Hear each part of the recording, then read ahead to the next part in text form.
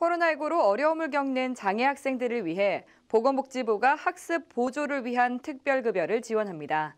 자세한 내용 박성용 기자가 전합니다. 코로나19 장기화가 이어지는 가운데 장애 학생들의 학습 보조를 위한 특별급여가 제공됩니다.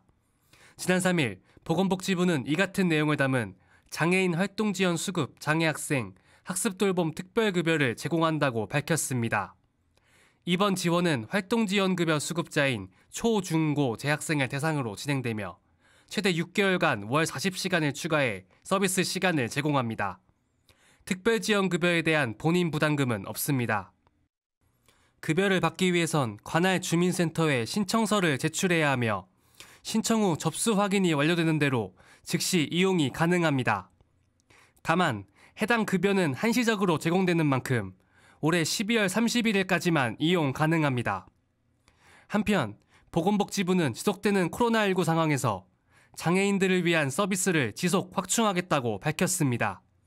복지TV 뉴스 박성용입니다.